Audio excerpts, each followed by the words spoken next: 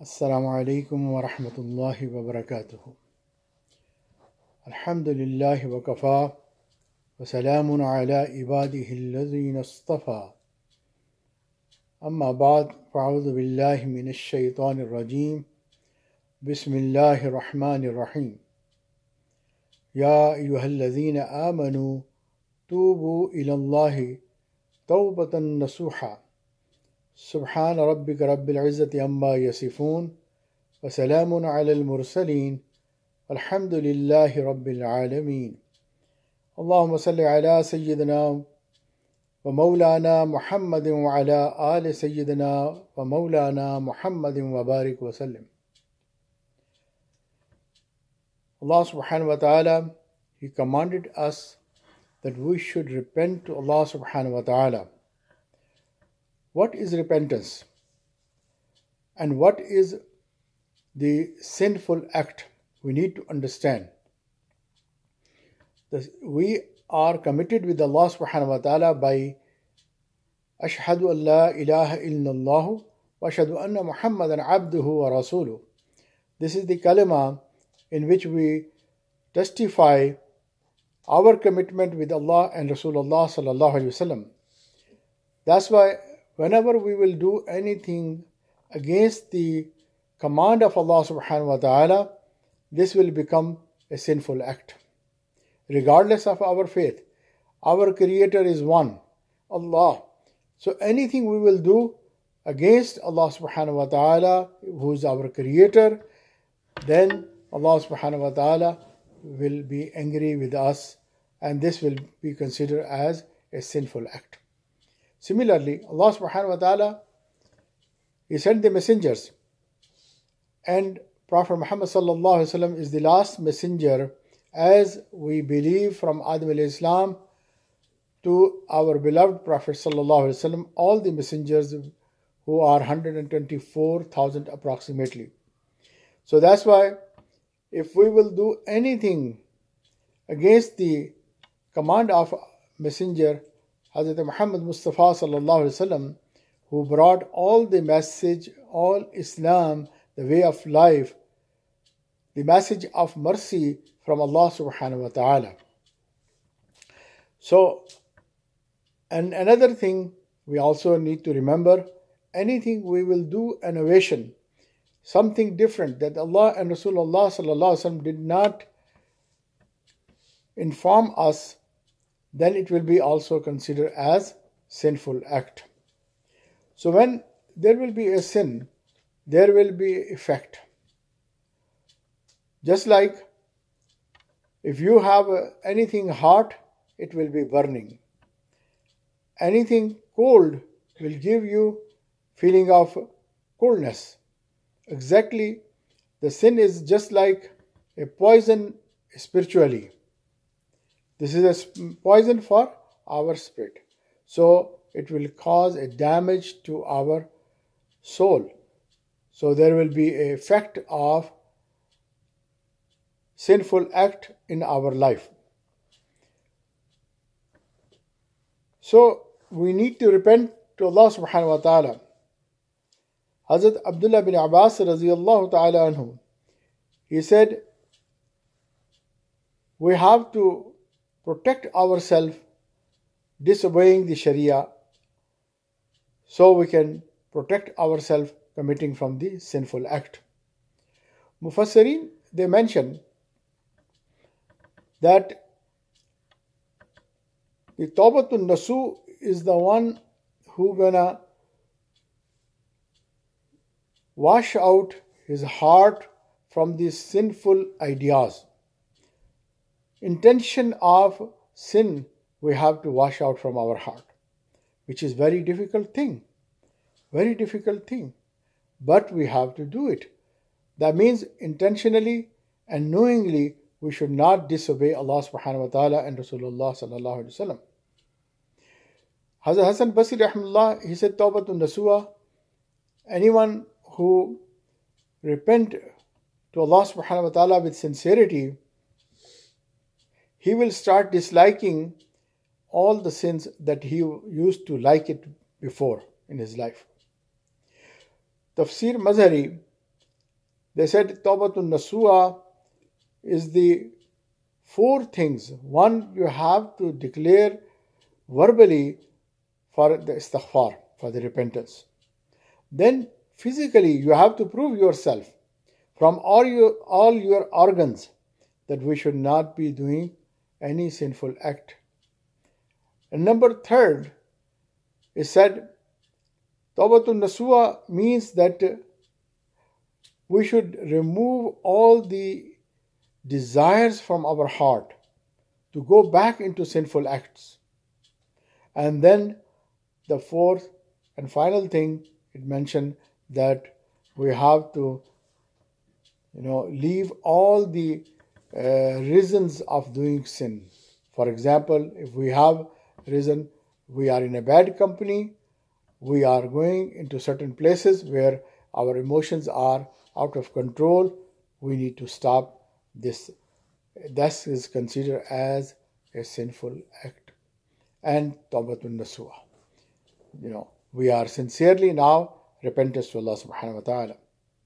Shaitan always try that he considered that all kind of sins are very minor mistakes in our life but truly they are not minor mistakes. We have to always think about that we are disobeying Allah subhanahu wa ta'ala who is the creator who is the owner of the whole universe.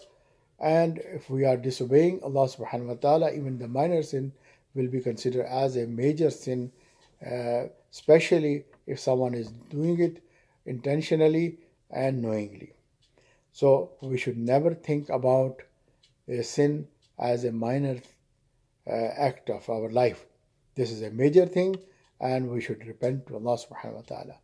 Today we will recite some kalimat uh, after me and uh, we will truly repent to Allah subhanahu wa ta'ala. Sincerely we will repent to Allah subhanahu wa ta'ala. And we will have also intention to rectify ourselves.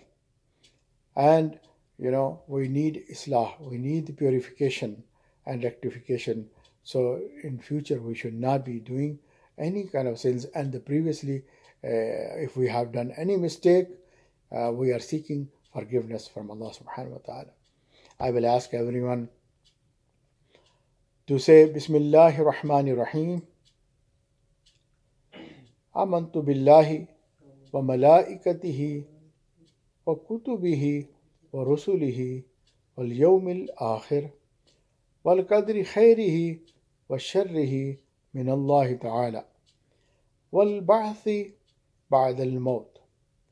آمنت بالله كما هو بأسمائه وصفاته وقبلت جميع أحكامه.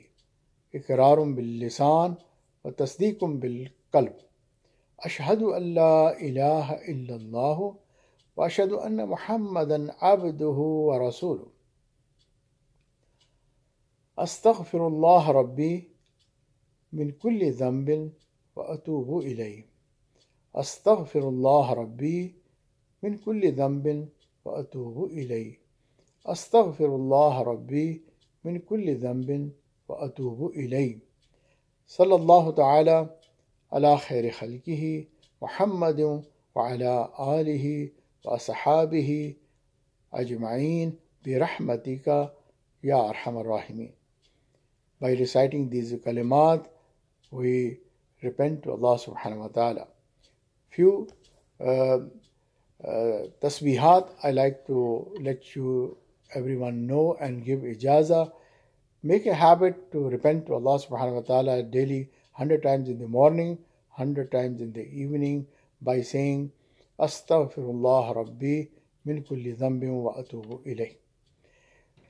We should also have 100 times in the morning and 100 times in the evening salawat for Rasulullah sallallahu alayhi wasallam by saying Allahumma salli ala Sayyidina Muhammadin wa ala ali Sayyidina Muhammadin wa barik wa.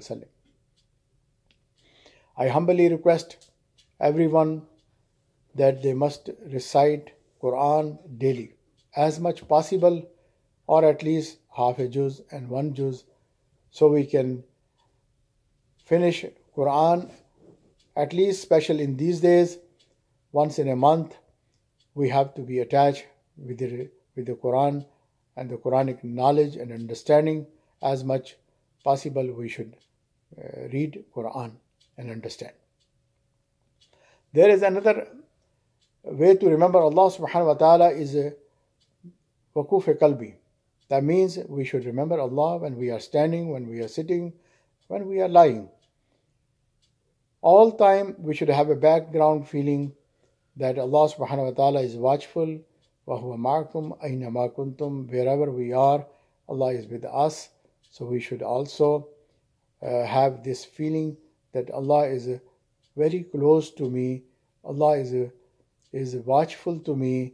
By having this feeling, inshallah, we will not commit any, any sin uh, in our life, and at the same time, we will feel strength because the King of King, you know, the creator of the universe, he is always watchful and he is always with us. How can we feel any sadness, depression, loneliness in our life? So, this is also a beautiful way to strengthen spiritually ourselves. Then, this, in order to receive, to build this uh, uh, ability to remember Allah subhanahu wa ta'ala all time, we have to meditate, and this is called muraqabah, and we have to sit down and imagine there is nothing but Allah. And the mercy of Allah subhanahu wa ta'ala is showering upon me, and my heart is saying, Allah, Allah, Allah. By doing this, inshallah, we will have a strengthening of a wakuf kalbi, remembrance of Allah subhanahu wa ta'ala, and we will achieve the zikr kathir. That means most of our life will be in the remembrance of Allah subhanahu wa ta'ala. The last thing that we should also stay in the good company. Like in, in Salat, we say, Ihdina Sirat al Mustaqim. Allah subhanahu wa ta'ala, He gave the solution, Sirat al Ladina an'amta alayhim. We have to stay in the company of, in the path of uh, those who are righteous people. وَاتَّبِعْ سَبِيلَ مَنْ أَنَابَ إِلَيْهِ Those who are uh, the uh, righteous people, we have to stay in their company. يَا أَيُّهَا الَّذِينَ آمَنُوا اتَّقُوا اللَّهَ وَكُونُوا مَعَ الصَّادِقِينَ This is also that uh, those who are believers, they have to have a fear of Allah and they have to stay in the company of the righteous people.